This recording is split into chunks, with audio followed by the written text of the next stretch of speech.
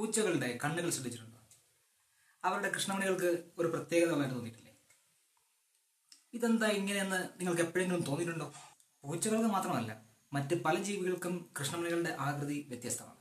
കൃഷ്ണമണിയുടെ ആകൃതിയിൽ മൃഗങ്ങൾ കാണുന്ന വ്യത്യാസവും അതിന്റെ സവിശേഷതകളുമാണ് ഇന്നത്തെ വീഡിയോയിൽ നമ്മൾ ചർച്ച ചെയ്യുന്നത്. നമസ്കാരം. ചെറുതല്ല കാര്യത്തിന്റെ മറ്റൊരു വീഡിയോയിലേക്ക് എല്ലാവർക്കും സ്വാഗതം.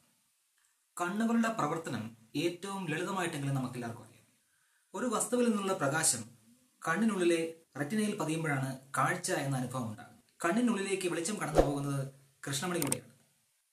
കണ്ണിന്റെ ഉള്ളിലേക്ക് കടന്നു പോകുന്ന വെളിച്ചത്തെ നിയന്ത്രിക്കുന്ന അല്ലെങ്കിൽ ക്രമീകരിക്കുന്ന ഇലിയറി മസിലുകൾ അവയുടെ വികാസ സങ്കോചങ്ങൾക്കനുസരിച്ച് കൃഷ്ണമണിയുടെ ആകൃതിയും മാറും. കാലിഫോർണിയ സർവകലാശാലയിലെ വിഷൻ റിസർച്ചർ ഗവേഷകനായിട്ടുള്ള മാർട്ടിൻ ബാങ്ക്സ് ജീവികളിലെ കാഴ്ചയെക്കുറിച്ചും കൃഷ്ണമണികളുടെ ആകൃതിയെക്കുറിച്ചും വിശദമായ പഠനം നടത്തിയിട്ടുണ്ട്. ജീവികളുടെ നീച്ച് അതായത് ആവാസ രീതിയുമായി കൃഷ്ണമണിയുടെ ആകൃതി പരിണാമത്തിന് ബന്ധമുണ്ട് എന്ന് കാണാം. പതിയിരുന്ന് ആക്രമിക്കുന്ന മൃഗങ്ങളിൽ അവയ്ക്ക് പറയുന്ന പേര് ആംബുഷ് പ്രിഡേറ്റേഴ്സ് എന്നാണ്. ഇത്തരം മൃഗങ്ങളിലാണ് വെർട്ടിക്കൽ പ്യൂപ്പിൾ കാണുന്നത്. ഇത്തരം ജീവികളുടെ ജീവിതശൈലിയാണ് ഇതിന് കാരണം. ആംബുഷ് പ്രിഡേറ്റേഴ്സ് അതായത് പതിയിരിപ്പ് വേട്ടക്കാർ ഇരകളെ ആക്രമിക്കും മുൻപ് അവയിലേക്കുള്ള ദൂരം കൃത്യമായി അളന്ന് തിട്ടപ്പെടുത്തി ആണ് അവയുടെ മേൽ ചാടി വരുന്നത് ഇത്തരത്തിൽ ഇരയെ കീഴ്പ്പെടുത്തണമെങ്കിൽ അവരിൽ നിന്നും ഇരകളിലേക്കുള്ള ദൂരം ഏറ്റവും കൃത്യമായി അളന്ന് തിട്ടപ്പെടുത്തേണ്ടതുണ്ട്. കണ്ണുകളുടെ സ്ഥാനവും കാഴ്ചയും തലച്ചോറും തമ്മിലുള്ള ഒരു ഏകോപനമാണ് ദൂരം കൃത്യമായി അളക്കാൻ സഹായിക്കുന്നത്. വേട്ടക്കാരായ മൃഗങ്ങളുടെ കണ്ണുകൾ തലയുടെ നേരെ മുൻവശത്താണ്. അതായത് അവയ്ക്ക് രണ്ട് കണ്ണുകൾ കൊണ്ടും ഉള്ള കാഴ്ചയാണ് ലഭിക്കുന്നത്. ഇതിനെ ബൈനോക്കുലർ വിഷൻ എന്നാണ് പറയുന്നത്. ഇത് മാത്രവുമല്ല ഇത്തരം മൃഗങ്ങളിൽ വസ്തുവിലേക്കുള്ള ദൂരം അളക്കുന്ന രണ്ട് പ്രധാന രീതികളുണ്ട്. വേട്ടക്കാരായ മൃഗങ്ങൾക്ക് തങ്ങളുടെ ഇരകളിലേക്ക് ഉള്ള ദൂരം കൃത്യമായി അളക്കേണ്ടതുണ്ട്. ഇതിനായി ഒരു പരീക്ഷണം പറയാം. കണ്ണിന് നേരെ മുമ്പിൽ ഒരു വിരലോ അല്ലെങ്കിൽ പേനയോ നീട്ടി കുത്തനെ പിടിക്കുക. ഈ വസ്തുവിലേക്ക് ഒരു കണ്ണടച്ച് മറുകണ്ണുകൊണ്ട് എന്ന രീതിയിൽ ഓരോ കണ്ണുകൊണ്ട് മാറി മാറി നോക്കുക. മുന്നിലെ വസ്തു ഇടത്തേക്കും വലത്തേക്കും സ്ഥാനം മാറുന്നതായി തോന്നാം. ഓരോ കണ്ണിലൂടെയും വരുന്ന കാഴ്ചയിലെ ഈ ദൂരവ്യത്യാസം തലച്ചോർ കൃത്യമായി അളന്ന് ത്രിമാന പ്രതിബിംബം ഉണ്ടാക്കുകയും അതിലേക്കുള്ള ദൂരം കണക്കാക്കുകയും ചെയ്യും. ഇതാണ് ഒരു രീതി. ഈ രീതിയെ വിളിക്കുന്നത് സ്റ്റീരിയോപ്സിസ് എന്നാണ്. ചുറ്റുപാടിൽ നിന്ന് ഇരയെ മാത്രം വേർതിരിച്ച് വ്യക്തമായി കാണുന്നതാണ് ഇനിയൊരു രീതി. ഈ ചിത്രത്തിൽ നിങ്ങൾ കാണുന്ന പശ്ചാത്തലം മങ്ങിയും എന്നാൽ ഒബ്ജക്റ്റ് കൃത്യമായ ഫോക്കസിലും ആണ്. ഡി ഒ എഫ് എന്ന ചുരുക്കപ്പേരിൽ അല്ലെങ്കിൽ ഡെപ്ത് ഓഫ് ഫീൽഡ് എന്നാണ് സാങ്കേതികമായി ഇതിന് പേര്.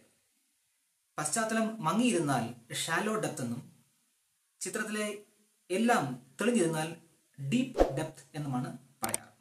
ക്യാമറ ഉപയോഗിച്ച് ചിത്രങ്ങൾ പകർത്തുമ്പോൾ ഇത്തരം ഷാലോ ഡെപ്ത് കിട്ടാനായിട്ട് ക്യാമറയുടെ അപ്രച്ചർ ക്യാമറയ്ക്കുള്ളിലേക്ക് വെളിച്ചം കടന്നു പോകാൻ നിയന്ത്രിക്കുന്ന സംവിധാനം വലിയ അളവിൽ തുറന്നു വെക്കേണ്ടതായിട്ടുണ്ട് ഡെപ്ത് കൂടുന്തോറും അപ്രച്ചറിന്റെ വലിപ്പം കുറഞ്ഞു വരുന്നതായിട്ടും. ഇത്തരത്തിൽ ഒരു അതായത് ഷാലോ ഡെപ്ത് കാഴ്ചയാണ് എപ്പോഴും വേട്ടക്കാർക്ക് അത്യാവശ്യം. കാരണം ഷാലോ ഡെപ്തിൽ വസ്തുക്കൾ മാത്രം തെളിമയോടെ കാണപ്പെടുന്നതിനാൽ വേട്ടക്കാർക്ക് അവയിലേക്കുള്ള ദൂരം കൃത്യമായി അളക്കാൻ പറ്റും. പക്ഷേ ഷാലോ ഡെപ്ത് ഉണ്ടാവാൻ കൃഷ്ണമണി വിസ്താരത്തിൽ തുറക്കേണ്ടതായി വരുന്നു. ഇത് കണ്ണിലേക്ക് ഒരുപാട് വെളിച്ചം കയറാനും അതുവഴി മങ്ങിയ കാഴ്ചയ്ക്കും വഴിവെക്കും ഇതിനൊരു പരിഹാരമാണ് വേട്ടക്കാരിലെ വെർട്ടിക്കൽ പ്യൂപ്പിൾ ഈ ആകൃതിയിലൂടെ ഷാലോ ഡെപ്ത് അധികം വെളിച്ചം കയറാതെ തന്നെ സൃഷ്ടിക്കാനാവുന്നു. സ്റ്റീരിയോപ്സിസും ഷാലോ ഡെപ്തും മാത്രമല്ല വേട്ടക്കാർക്ക് സഹായകമാകുന്ന രീതികൾ. നേരത്തെ പറഞ്ഞതുപോലെ കണ്ണുകളുടെ സ്ഥാനവും കാഴ്ചയും തലച്ചോറും തമ്മിലുള്ള ഒരു ഏകോപനമാണ് ദൂരം കൃത്യമായി അളക്കാൻ ഇവയെ സഹായിക്കുന്നത്. വേട്ടക്കാരായ എല്ലാ മൃഗങ്ങളുടെയും കണ്ണുകൾ തലയുടെ നേരെ മുമ്പിലായിരിക്കും. ചുരുക്കത്തിൽ അവർക്ക് ബൈനോക്കുലർ വിഷൻ രണ്ട് കണ്ണുകളിലൂടെയും ഒരുപോലെയുള്ള ഒരു കാഴ്ചാനുഭവമാണ് ഉണ്ടാകുന്നത്. പൂച്ചകൾക്ക് മാത്രമല്ല കുറുക്കൻ പാമ്പ് മുതല മുതലായ വേട്ടക്കാർക്കെല്ലാം ഇത്തരം പ്രശ്നങ്ങളാണ് ഉള്ളത്. എന്നാൽ കൂടുതൽ ഉയരമുള്ള ആംബുഷ് പ്രെഡേറ്റേഴ്സ് അല്ലാത്ത വേട്ടക്കാരിൽ കടുവകൾ അതുപോലെ ചെന്നായ്ക്കൾ മനുഷ്യനിലടക്കം. ഇത്തരത്തിലുള്ള കൃഷ്ണമണിയല്ല. പകരം വൃത്താകൃതിയിലുള്ള കൃഷ്ണമണിയാണ് കാണപ്പെടുന്നത്. എന്നാൽ നമ്മളിപ്പോൾ പറഞ്ഞ കാര്യത്തിന് ഒരു മറുവശവുമുണ്ട്. ഇതുവരെ നമ്മൾ സംസാരിച്ചത് വേട്ടക്കാരായ മൃഗങ്ങളുടെ കാര്യമാണെങ്കിൽ ഇരകളാക്കപ്പെടുന്ന മൃഗങ്ങളുടെ കണ്ണിനും കാഴ്ചയ്ക്കും കൃഷ്ണമണിക്കും പ്രത്യേകതയുണ്ട്. സസ്യഭുക്കുകളായ ജീവികൾക്ക് അതായത് ഹെർബിവോസ് അവരാണ് സാധാരണഗതിയിൽ ഇരകൾ എന്ന് വിളിക്കുന്നത്. ഇത്തരം ജീവികളുടെ കൃഷ്ണമണികൾ ദീർഘചതുരാകൃതിയായിരിക്കും ഉണ്ടാവും കുതിരകൾ ആട് മുതലായ ഉദാഹരണങ്ങളാണ്. ഇവയുടെ കണ്ണുകൾ തലയുടെ വശങ്ങളോട് ചേർന്നാണ്. മാത്രവുമല്ല കൃഷ്ണമണികൾ ഭൂമിയോട് തിരച്ചീനമായി അതായത് ഹൊറിസോണ്ടൽ ആയിട്ടാണ് ഇരിക്കുന്നത്. കണ്ണുകളുടെ ഈ സ്ഥാനവും കൃഷ്ണമണിയുടെ ഈ ആകൃതിയും നൂറ്റി നാൽപ്പത്തി ആറ് ഡിഗ്രിയോളം കാഴ്ച വിസ്തൃതി ഇത്തരം ജീവികൾക്ക് നൽകുന്നു. ചുരുക്കത്തിൽ ഇത്തരം മൃഗങ്ങൾ തല താഴ്ത്തി മേഞ്ഞു നടക്കുമ്പോഴും കൃഷ്ണമണിയുടെ സ്ഥാനം മാറ്റമില്ലാതെ തുടരുന്നു ഇത് വേട്ടക്കാരുടെ സാമീപ്യം വളരെ പെട്ടെന്ന് തിരിച്ചറിയാൻ ഇവയെ സഹായിക്കുന്നു.